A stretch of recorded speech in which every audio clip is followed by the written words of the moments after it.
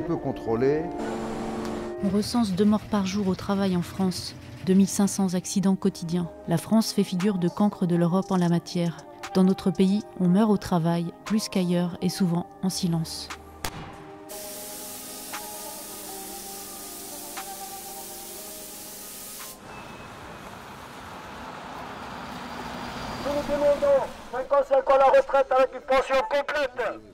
Filiale de Vinci Sogea. D'accord. Mais comment ça s'appelle l'accident qui était produit euh, à Gonesse là? Ouais. C'est ça.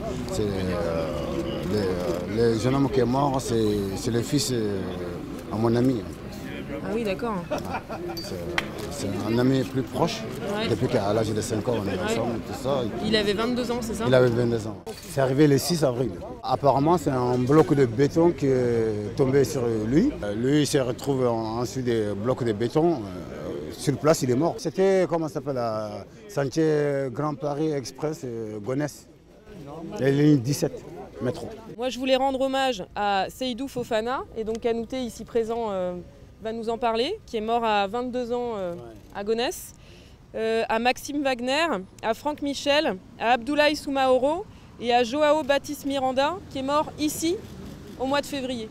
Et je voulais adresser toutes les condoléances de la CGT à leur famille et dire à leur famille que la CGT ne lâchera pas et qu'on va se battre pour que cette hécatombe cesse. Donc, euh, on a fait tout le nécessaire pour pouvoir euh, récupérer le corps quand même. Son père, il a pris par les réseaux sociaux. Parce qu'il y a un ami qui était dans le Facebook, euh, il a vu les photos des les petits. L'entreprise, ils n'ont même pas capable d'appeler les pères comme quoi son fils, il a eu l'accident. Mais c'est honteux quand même.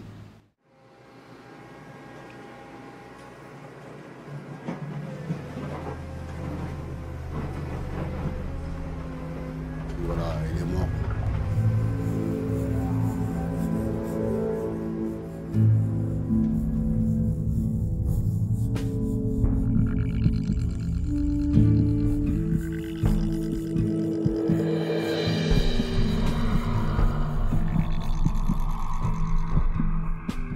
Ce qui est un peu bizarre, il nous a dit que l'endroit qu'il est, il est mort, il ne devrait pas aller là-bas. Mais c'est le chef qui l'a envoyé là-bas.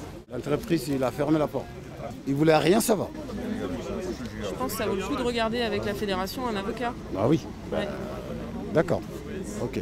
Parce que là, ils sont tranquilles, euh, tu vois, Ils ils, sont arrangent, tranquilles, ils arrangent les choses à leur sauce. C'est- Ouais. Franchement, c'est- bizarre. Ok, merci beaucoup. Oui, bonjour Marie. Salut Mohamed, ça va? Et toi Ça va, ça va. En fait, moi, je voulais m'assurer parce que la dernière fois, tu m'as dit que donc il était allé déblayer sous la dalle de béton et que quelqu'un lui aurait dit d'y aller creuser, tu vois, d'aller euh, enlever la terre. C'était évident qu'il y avait un risque d'effondrement de la dalle, tu vois. Là, on voit typiquement le fait que le fait qu'il n'y ait pas de CHSCT impacte. Parce que Mm. du coup, euh, les camarades, ben, ils enquêtent plus. quoi. Il n'y a plus d'enquête sur le- le- l'accident. Euh, le dernier sous-traitant qui va faire le travail, lui, euh, n'a pas une, euh, un, chiffre d'affaires suffisant pour assurer la sécurité de ses salariés, donc ça sera forcément au rabais. Le deuxième facteur, c'est euh, la précipitation et la rapidité. C'est-à-dire on met, met la pression parce qu'il faut, faut finir chantier. Il faut finir chantier, on est en retard, il y a des délais, euh, il y a des pénalités de retard, donc il faut finir chantier. C'est un peu euh, aujourd'hui euh, ce qui se produit par rapport au Grand Paris, où ça amène forcément euh, euh, des, procédures qui, qui sont changées. Parce que bien souvent, l'accident va se produire, l'accident mortel et grave va se produire quand on change un process. Les fameuses CSSCT qui ont été créées euh, à l'issue des ordonnances Macron. Ces CSSCT, donc ces commissions euh, de santé, sécurité et conditions de travail, n'ont plus de personnalité juridique, donc non plus de budget, contrairement à ce qui était le cas pour le CHSCT, et non plus la capacité juridique d'engager des expertises en leur propre nom.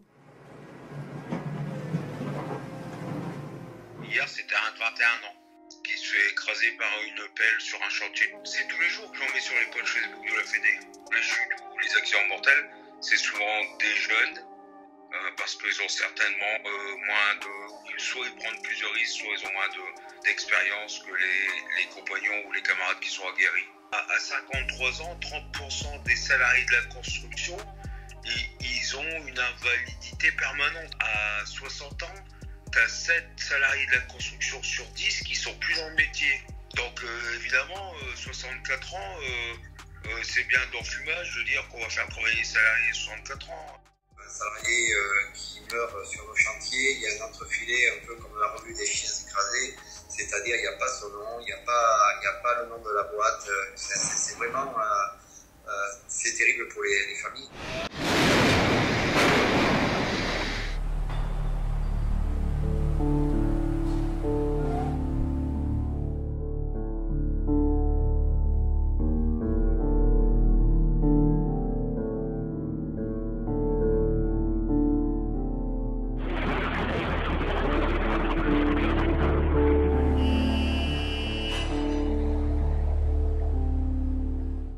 Quand tu as un salarié intérimaire qui arrive le matin, euh, euh, c'est difficile pour lui de fraterniser avec l'équipe. Parce qu'en plus, on a une conception qui est un peu bête du groupe euh, dans la construction. Et donc, à partir du moment où tu fais pas partie du groupe, tu n'as pas fait preuve de faire partie du groupe, tu pas exclu, mais voilà, tu es quelqu'un en plus sur le chantier. Les salariés, quand ils ont fait 10-12 heures par jour, parce que c'est un peu l'amplitude horaire qu'on fait, qu'ils ont encore une heure ou deux heures, une heure et demie de, voiture pour rentrer chez eux, ben, ils n'ont pas trop envie de prendre du temps à fraterniser. Moi je leur dis toujours, n'hésitez pas à utiliser votre droit de retrait. Si vous sortez que vous êtes en, danger, vous utilisez le droit de retrait. Le problème d'utiliser le droit de retrait, c'est qu'on se met tout de suite dans la confidentialité avec son employeur, donc c'est euh, compliqué.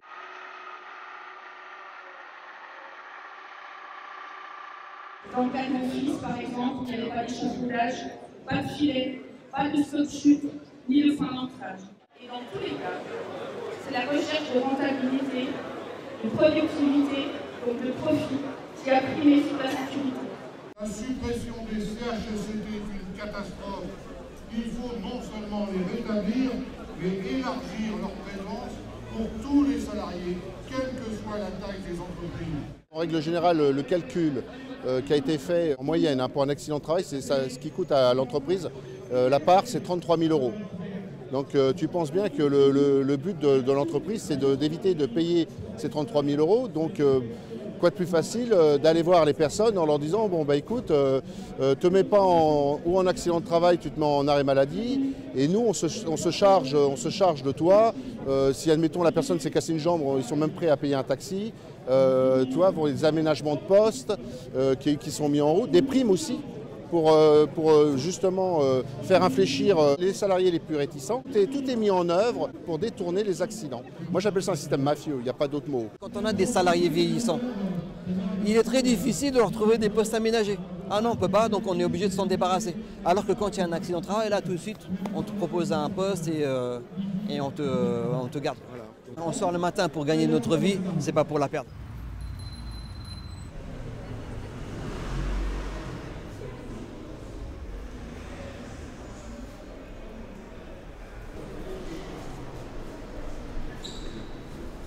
On nous annonce le décès de notre enfant. On nous rend le corps euh, une dizaine de jours après. Et puis on est livré à nous-mêmes. On a relaté l'effet d'accident, euh, un petit article dans le journal avec son nom, son prénom. Puis c'est tout, puis c'est l'oubli. Quelques mois après, donc euh, Denis est venu frapper à ma porte. Alors Guillaume est un ouvrier intérimaire qui donc travaille pour le compte d'Eurovia, qui est un groupe Vinci. Et ils réalisent les travaux d'une deux fois deux voies. Ils ont fait deux petits murets par pain qu'ils ont coulés la veille. La pelle remplit ces deux murets euh, de 16 tonnes, je crois, de sable. Et euh, il n'y a pas d'étayage. Et au dernier coup de godet, les, murs, euh, le mur s'effondre sur Guillaume en l'écrasant. Ces murs sont tombés suite à plein de manquements. J'ai demandé plusieurs fois à parler au petit ingénieur euh, afin qu'il me donne le dernier souffle de vie de Guillaume. J'ai jamais pu. Avec Orovia, ce sont des procès qui sont très longs. On nous dit entre 10 et 15 ans peut-être, parce qu'il y a des expertises, des contre-expertises. Ce sont des multinationales, donc. Euh, et c'est d'autant plus pénible parce que euh, moi je pense à ma petite fille qui avait 3 ans quand son papa est, est, décédé. Elle en peut-être 18 et elle assistera au procès de son papa. Enfin pour moi c'est très long. Et pendant tout ce temps, ben, qu'est-ce qu'on fait en fait? Euh, Rien. Ne peut pas, on peut rien faire, on attend, personne n'est puni et euh, pour nous c'est juste euh, insupportable. Nous on les accompagne syndicalement et on essaie en même temps de, leur, présenter le collectif de famille, leur dire qu'il existe un collectif de famille. On a fait en sorte qu'il y ait une stèle qui a été posée sur le lieu de l'accident.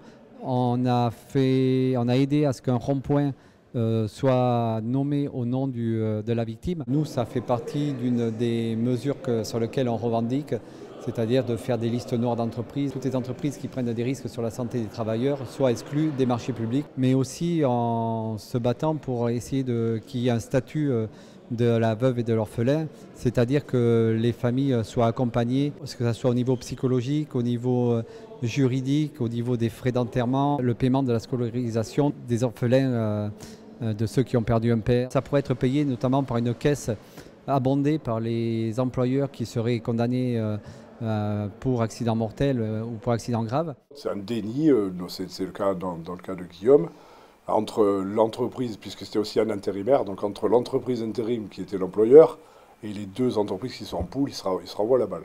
Mais la technique la plus courante, c'est d'essayer d'acheter le silence, je vais le dire comme ça, parce que c'est comme ça que ça s'appelle, quoi, d'acheter le silence de la famille en faisant un chèque. Quoi. Quand il y a des délégations de pouvoir à des salariés qui ne sont pas forcément habilités à avoir une telle délégation de pouvoir, l'entreprise propose au salarié qui a reçu la délégation de pouvoir de prendre le même avocat qu'elle, donc de lui financer son avocat, et donc quand même de lui faire porter le chapeau de la responsabilité de l'accident, tout en lui disant tu vas prendre quelques mois de sursis, mais tu resteras dans l'entreprise, tu resteras salarié. On parle évidemment des familles, euh, mais je pense que si les grands oubliés quand il y a un accident du travail, c'est les collègues. Et ça, c'est très traumatisant pour, pour, des, pour des dizaines de personnes euh, qui sont autour de l'événement. Et d'ailleurs, on milite, euh, et avec les familles là-dessus, hein, pour la création d'un délit spécifique de l'homicide volontaire, puisque on, la condamnation, c'est toujours homicide involontaire. Mm.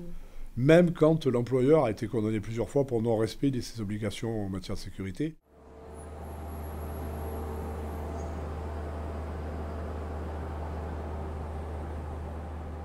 C'est une première dans l'histoire des Jeux Olympiques euh, d'organiser une reconnaissance et une implication des organisations syndicales sur la manière dont on prépare les Jeux Olympiques. Et là, il y a tout un dispositif de suivi de la part de la Solidéo, euh, de pression à l'égard des entreprises qui ont obtenu les marchés, pour exiger de leur part un comportement qui fasse de la sécurité une priorité. Et en moyenne, depuis le début, il y a euh, chaque jour un inspecteur du travail qui fait une opération de contrôle sur un chantier JO. On s'aperçoit que il y a quatre fois moins d'accidents du travail sur les chantiers JO que sur les autres chantiers. Il ne s'agit pas de considérer que les chantiers JO sont, euh, je dirais, idéaux. Hein.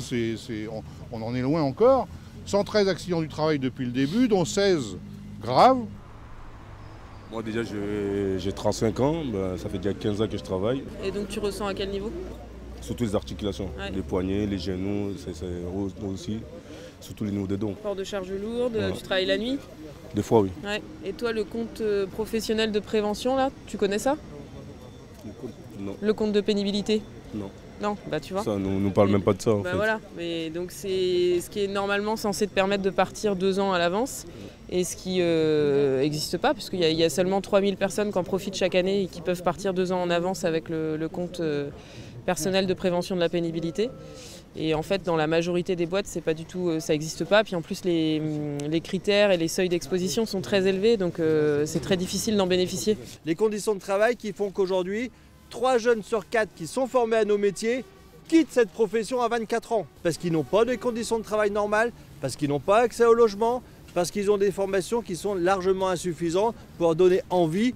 L'autre élément important, c'est que Macron par ses ordonnances, a supprimé les quatre critères pénibilité, alors qu'on sait que 80% des salariés de nos métiers n'arrivent pas en activité à la retraite. Le scandale, c'est que des métiers comme ça, après 60 ans, c'est mission impossible de les faire, même après 55 ans, et c'est les patrons eux-mêmes qui ne veulent plus des ouvriers, puisque les conditions de travail ne permettent pas de travailler après un certain âge. La CGT, elle est là pour rappeler sa revendication de la retraite à 60 ans. Donc ce que nous voulons à la CGT, c'est de vrais départs anticipés pour pénibilité euh, à partir de 55 ans. Et ce que nous voulons, c'est que euh, les régimes pionniers, qu'on appelle les régimes spéciaux que la CGT a obtenus pour certaines professions, bah non seulement il faut les maintenir, mais il faut qu'ils fassent tâche d'huile pour s'étendre, notamment au secteur du BTP.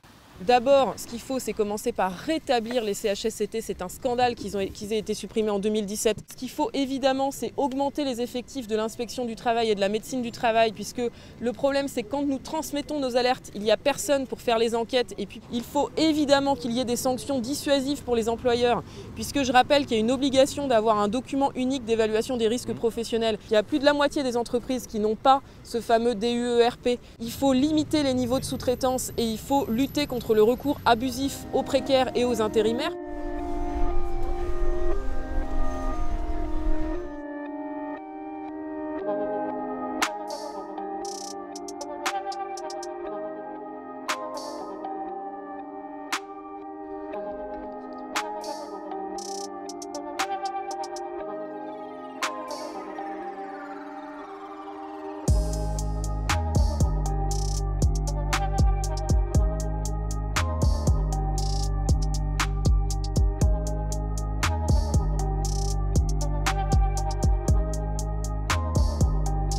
Partir de 55 ans, la plupart sont en maladie parce qu'ils sont cassés partout.